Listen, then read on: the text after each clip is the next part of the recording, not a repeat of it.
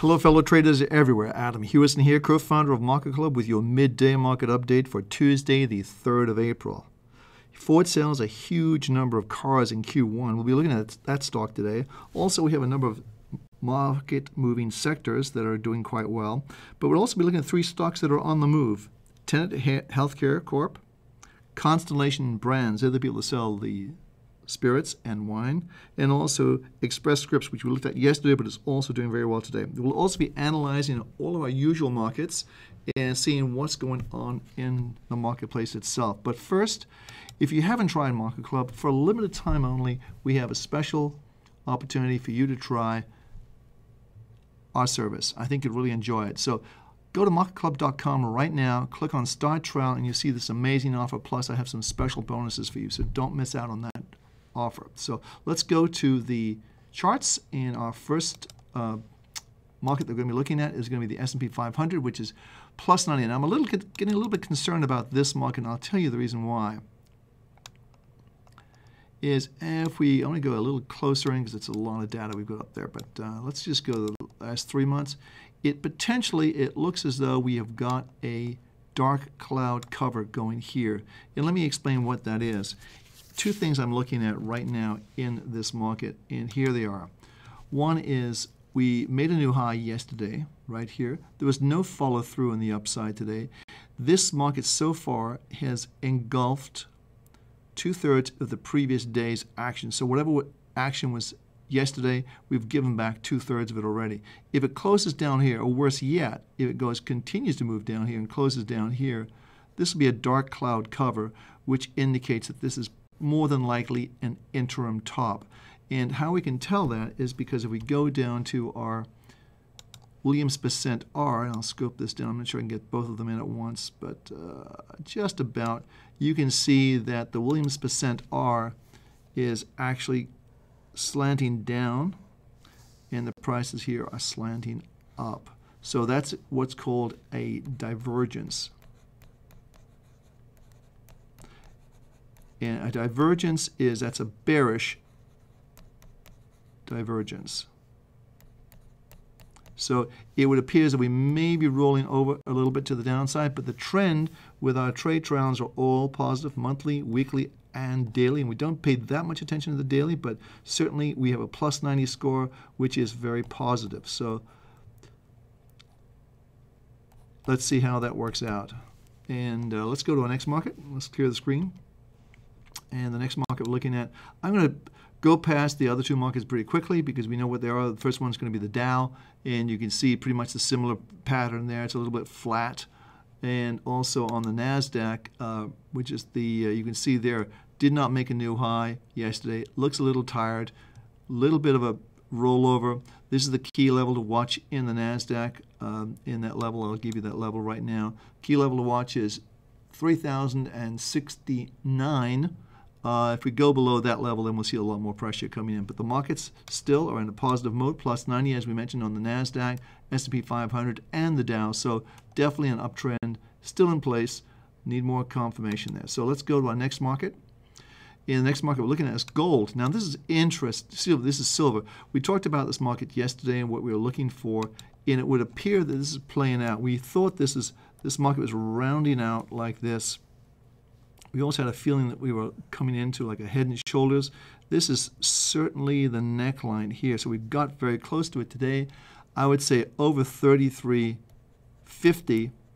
I think we probably put in a base and we'll see this market move up uh, from the lows we saw here around 31.50. So I think we could go to 35.50. I would say somewhere around these levels, which sort of pulls you back to this zone. So I think if we close over 3350, we're 3309. This is real time.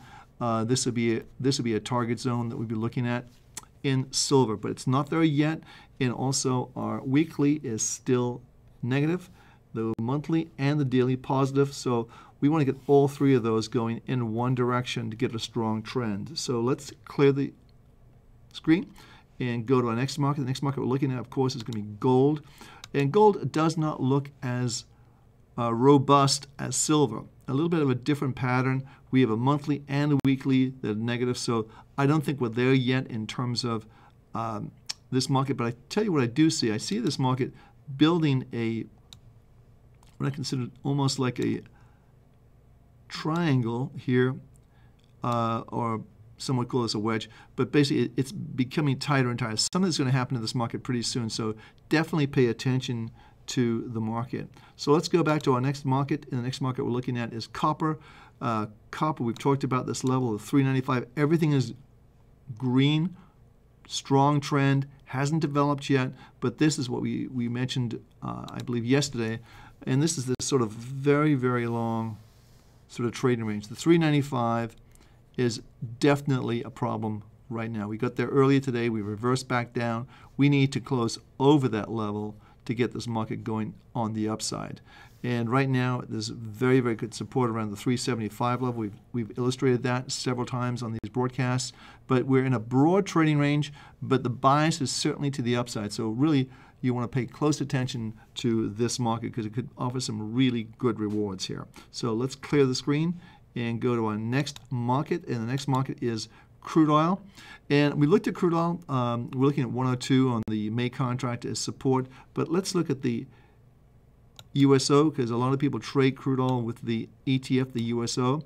And what you can see here, we have a monthly that's positive, just like the crude itself. The weekly is negative and the daily is negative. But the one thing that's interesting here to me is if you put the Fibonacci in, and we need to go a little bit lower there. So you can see pretty much we hit the Fibonacci right on the numbers. It would appear as though we've got a uh, potential uh, double bottom here. Uh, yesterday's action was a very, very bullish, negative, uh, positive engulfing line.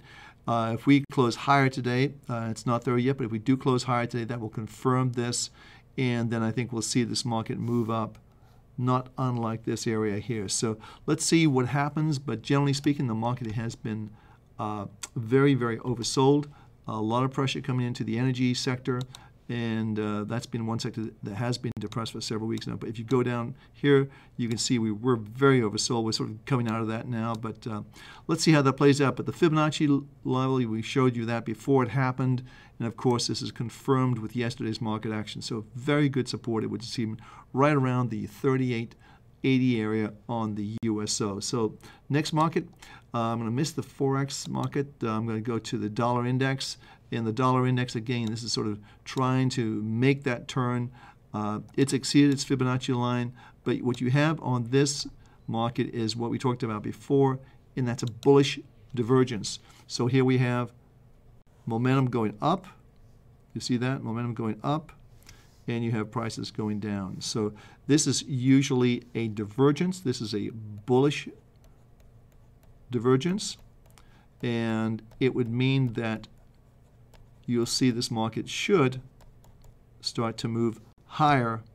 Maybe do this and go start going higher if this plays out to be a bullish divergence, which I think it will. Longer term, we think this market is going to go higher because of the long-term monthly trade triangle, which remains green right here.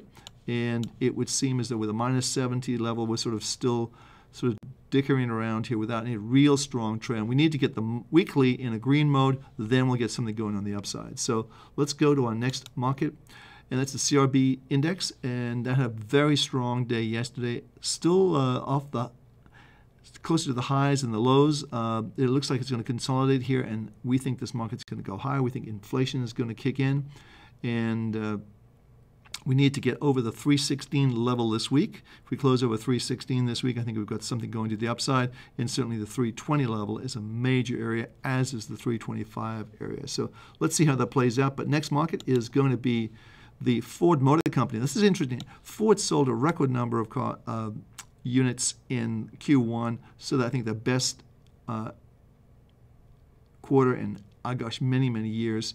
And uh, you can see the market has really sort of just gone sideways, just really no strong sort of. Certainly, the level around the 13 level on Ford right here seems to be a problem. Um, generally speaking, all of our trade triangles, you can see them right here, positive and positive on the weekly and the monthly. And the plus 90 score is indicating that the trend is clearly up even though we've seen this reversal from this high 13 level. The 13 is resistance. You can see every time we've got there, it's been a problem. And I think that's the something is happening. I'm not sure what it is, but uh, you're also got on the downside. You've got the support area right here. So 1220 on the downside, 13 on the upside. Very tight markets. Uh, but the trend is definitely bullish for Ford. So let's clear the screen, go to our next market. The next market we're going to look at is something that uh, you may not know this. Uh, this healthcare sector has been pretty hot, but we've turned up in the monthly is definitely positive from 530. We're currently trading at 552. This is a big one of the big movers today. It's actually up on average. It's up about uh, almost 2.8 percent, looking very very good. Uh, we need to take, let me just do something I normally do I like to do, I should say, and just put a close only chart in. So we need to take a trend line from the highs here and scope that through. So we're pretty much right on that trend line. We need to close over the trend line. So in this case, I would say we have to close over the 570 area, which is in the 20 cents high. I'm not sure that's going to happen today, but certainly going over that area, I think we'll see all our trade triangles go green. So let's go to the next market. In the next market we're looking at is, I'm going to put my candlesticks on, is Constellation Brands. Constellation Brands, they own all of the sort of a lot of wine and liquor, hard liquor, and it's an international company. Obviously, a very, very good action today. You're up in Constellation Brands almost 3%. If we scope this out to a maximum, you can see this market has some upside room to go. And uh, what I did earlier was just to draw a simple trend line. I think it was right from here. Oh, one second. I think it was right from about these levels here. And I think we just went over like that. So it looks to me that you've got a lot of energy underneath this market. There's the double. Let me just draw this, get my tool on here. The There you have the double bottom right here. There's the pivot point. We've talked about this many, many times. So you just measure from the lows right here, 12 to the highs. Let's say we'll call that, uh, let's just call it 17. So it's $5. Forward that to 22, 5 on 17. So you add, so it's 17 plus 5 equals 22. And that's pretty much where the market came down. Now we've come down further, so we can measure from the 12 to the 22 area. That's 10. So we'd be looking for this market to get up to about the 32 area which is not so far where it was before. So I think 31 and change. So generally speaking, Constellation Brands looks very good to us. All of our trade triangles are positive, so I think it's a, definitely a buy. And this market is going to go higher. So always, always use stops when you trade, though. That's the key thing. So let's clear the screen. And that's just, just suggested trade. We don't give trade recommendations, as you know. But let's go to our next market. Next market we're going to look at is ESRX. We looked at this market yesterday, Express Scripts. And it's coming up, you can see, let's just get a little closer in, let's say three months. And you can see it was a big day yesterday for Express Scripts. That was up 2.45%. And again, it's up today over 3%, 3.25. So the last couple of days, it's almost gone up 6%. And it's acting very, very, very well. So if we just scope this out, you can see it's uh, really doing well. The, obviously, the resistance starts right around the 58 to 60 area. But uh, generally speaking, the trend is clearly up, and it looks as though we got a plus 100 in our score. So, as I say, if you're if you're familiar with our trade triangles, which you can see they come in, uh, let me just scope this out. They come in right here, and let's just take this off the screen. We don't need that, and let's just take that off. But the trade triangles come in there at 52.27. They come back in at 48. So it's going to protect you on the downside, and also you'll catch the upsides. 40, we said the 48.39, which is right here.